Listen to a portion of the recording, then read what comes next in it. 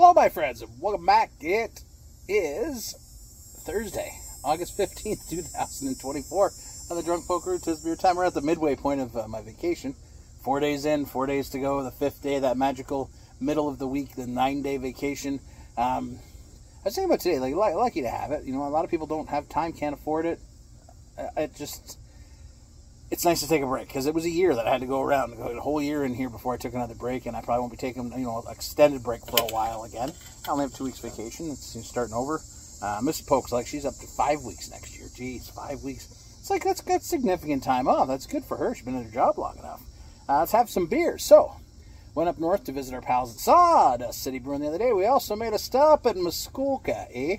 Muskoka Brewery. We always go to Muskoka and, and, and Sawdust, always, because you know, I remember our first trip there back in 2016, and it's just watching them grow, like watching the breweries grow and expand. And, then, like the Muskoka, if you ever get up there, they've transformed the outside space and the inside space incredibly. It's a great place to hang out and have a beer. We've got their dry hopped wheat here. Um, I'm, I'm, I'm a big fan of dry hopping any kind of beer. Uh, wheat beer, 5%. 4.8 ish, 4 ish percent.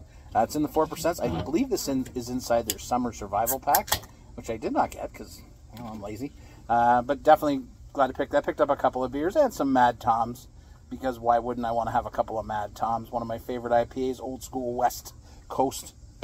Muskoka is a giant, uh, and, and, they're not, they're giant inside of the small world of Ontario craft beer in terms of just the sheer amount of offerings they have at the uh, grocery store, at the LCBO, and the corner stores, you know, coming up uh, in a couple weeks. Smells good. Looking for stone fruit. All right, stone fruit. Yeah, crisp, citrus. Let's get after it. Let's get into it. Cheers. A nice wheat beer on a sunny Thursday afternoon. Cheers.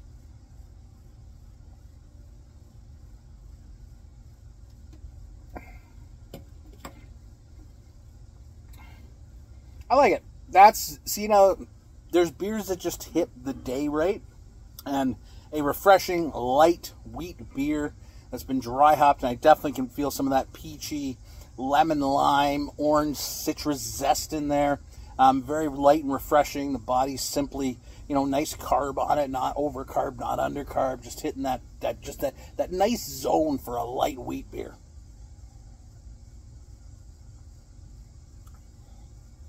A little bit of light bubblegum, a touch of spice, not a ton here. This is a very, very meant to be crushable beer.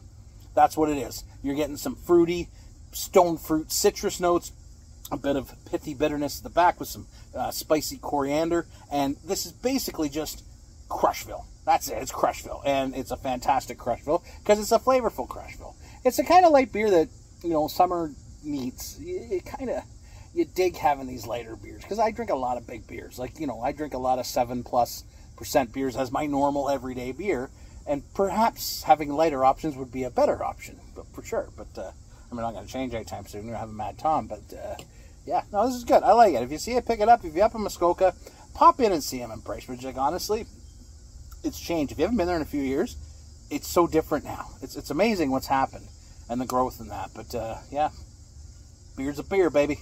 Cheers.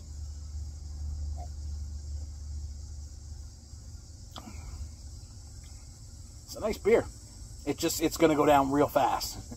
they're going real fast and real left, son. Real fast and real left. If you don't know what I'm talking about, you should look that up.